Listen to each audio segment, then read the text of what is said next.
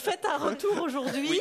On ne l'a pas encore entendue cette année parce qu'elle nous revient de cette terre ouagalaise, elle nous revient du Burkina Faso. Et oui, et son livre Du miel sous les galettes continue à être conseillé par les libraires et à être détesté par les diététiciens. C'est Rukiata Ouedraogo. Bonjour les amis. Bonne année, Netabo, comme on dit chez moi.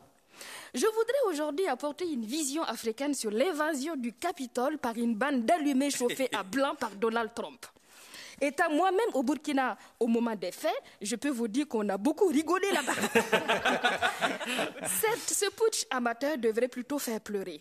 Mais il est trop tentant de se moquer de ce président qui a su, avec brio, transformer son pays en bullshit country ce qui s'est traduit par pays de merde. ben oui, c'est ainsi que Donald Trump lui-même parlait des pays africains avant de s'enliser lui-même dans son propre caca. Dans mon village, certains voulaient même envoyer une force d'interposition pour protéger la population américaine en cas de guerre civile.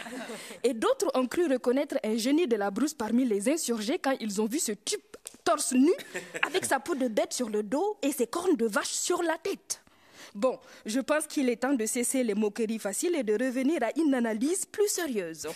D'abord, le gars avec les cornes sur la tête, ce n'est pas un génie de la brousse, non, c'est mon cousin Amidou.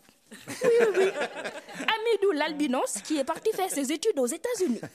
Il se prend pour un chasseur traditionnel depuis son overdose de cheeseburger Coca-Cola. Ça m'a fait plaisir de le revoir. Il a l'air en pleine forme. Du coup, comme j'étais à Ouaga et pour avoir l'avis d'un expert, j'ai interviewé qui vous savez? Ah. Tonton Théophraste, Théophraste, qui est aussi professeur de sciences politiques à l'université de Ouagadougou. Bonjour ma fille. Ah, c'est pour les grosses têtes? Euh, euh, non, tonton. Ah, pardon. Bonjour à tous les auditeurs de Radio Monte Carlo. J'ai effectivement quelques fake news à vous communiquer pour mieux comprendre ce qui s'est passé le 6 janvier dernier. Tout a commencé à la cafétéria du Capitole.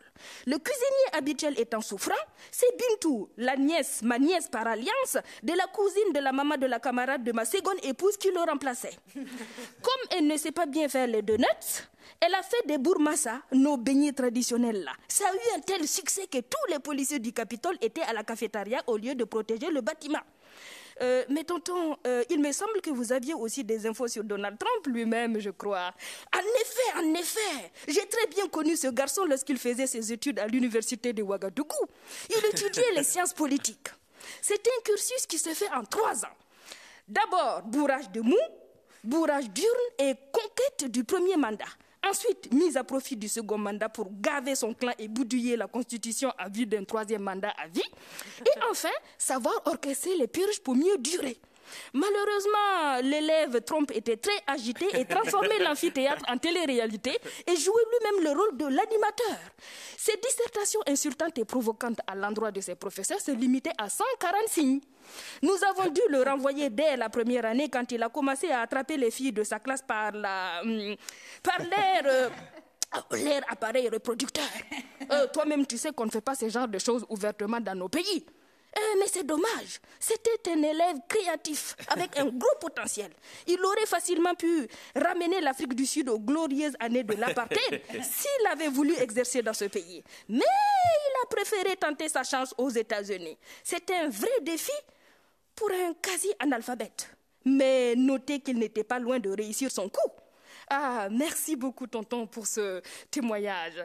À votre service et mon bonjour aux auditeurs de RFI. Merci, tonton Théophraste. Et merci, Rukiata Ouedraogo.